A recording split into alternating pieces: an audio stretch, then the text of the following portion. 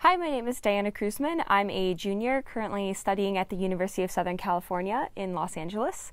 Um, I am a double major in journalism and Middle East studies, and I'm here in Amman, Jordan this semester studying Arabic language and uh, Middle East history and politics uh, just trying to get a better foothold on the language and the culture.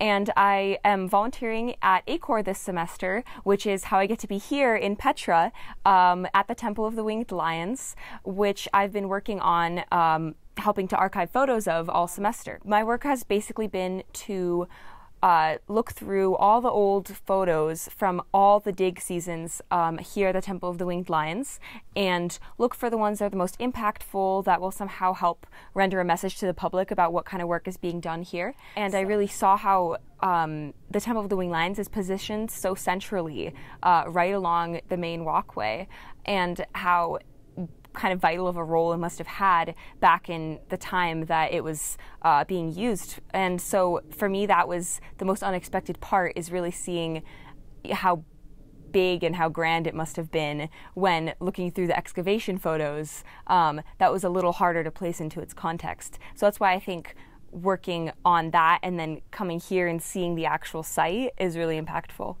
Uh, so I think having the access to that archival material really helped just to raise awareness of the fact that this site is here. Um, and as well, it would really help put in context all the work that has been done to make this site what it is, which I think is part of the pleasure of coming to Petra because it's not just about um, the people who first built this place, it's about all the people who've worked over the years to uh, maintain it and restore it and um, dig and find things that uh, otherwise would not be visible to the public.